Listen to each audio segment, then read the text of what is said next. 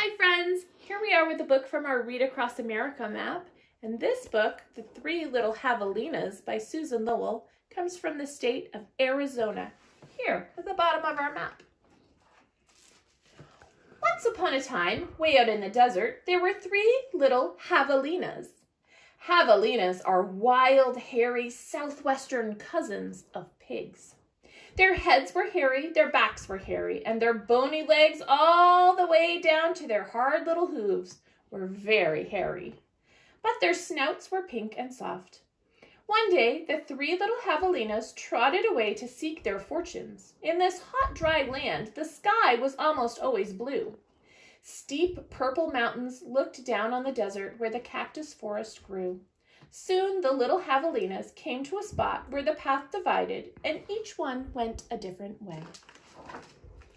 The first little javelina wandered lazily along. He didn't see a dust storm whirring across the desert until it caught him. The whirlwind blew away and left the first little javelina sitting on a heap of tumbleweeds. Brushing himself off, he said, I'll build a house with them. And in no time at all, he did. Then along came a coyote. He ran through the desert so quickly and so quietly that he was almost invisible. In fact, this was one of the coyote's many magical tricks. He laughed when he saw the tumbleweed house and smelled the javelina inside. Mmm, a tender, juicy piggy, he thought. Coyote was tired of eating mice and rabbits. He called out sweetly, Little pig, little pig, let me come in. Not by the hair of my chinny chin chin, shouted the first javelina, who had a lot of hair on his chinny chin chin. Then I'll huff and I'll puff and I'll blow your house in, said Coyote. And he huffed and he puffed and he blew the little tumbleweed house away. But in all the hullabaloo, the first little javelina escaped and went looking for his brother and sister. Coyote, who was very sneaky, tiptoed along behind. The second little javelina walked for miles among giant cactus plants called saguaros. They held their ripe red fruit high in the sky, but they made almost no shade, and the little javelina grew hot. He came, up, came upon a Native American woman who was gathering sticks from inside a dried up cactus. She planned to use the long sticks called saguaro ribs to knock down the sweet cactus fruit. The second little javelina said, Please, may I have some sticks to build my house? Hi-oh, she said, which means yes in the language of the desert people. When he finished building his house, he lay down in the shade. Then his brother arrived, panting from the heat, and the second little javelina moved over and made a place for him. Pretty soon, Coyote found the saguaro rib house. He used his magic to make his voice sound just like another javelina. Little pig, little pig, let me come in, he called. But the little javelinas were suspicious. The second one cried, No, not by the hair of my chinny chin chin. Bah, thought Coyote.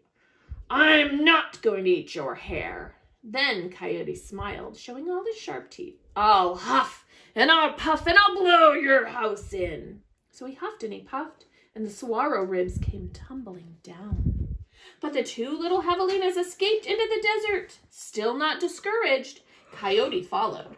Sometimes his magic did fail, but then he usually came up with another trick.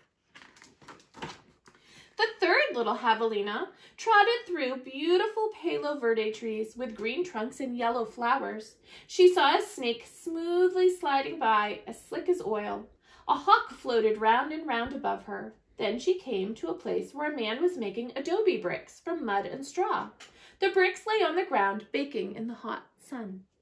The third little javelina thought for a moment and said, May I please have a few adobes to build a house?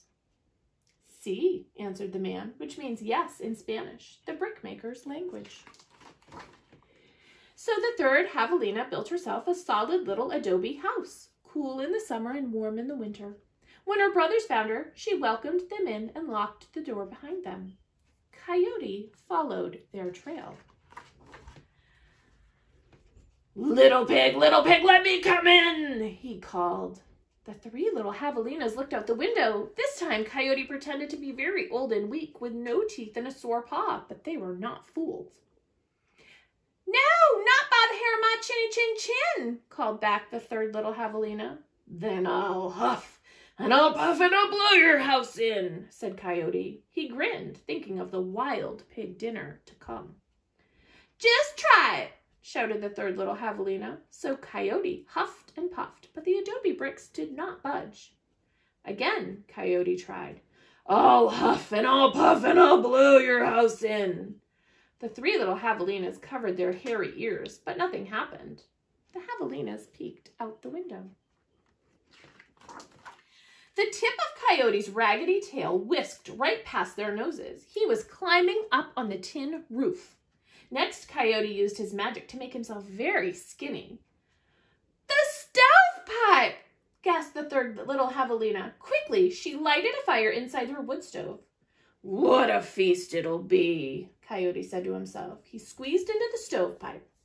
I think I'll eat them with red hot chili sauce. Whoosh! Then the three little javelinas heard an amazing noise. It was not a bark. It was not a cackle. It was not a howl. It was not a scream. It was all those sounds together. Yip, yip, yip, yip, yow! Away ran a puff of smoke, shaped like a coyote. The three little javelinas lived happily ever after in the adobe house. And if you ever hear Coyote's voice way out in the desert at night, well, you'll know what he's remembering. Thanks for joining me for this story. See you online soon, friends.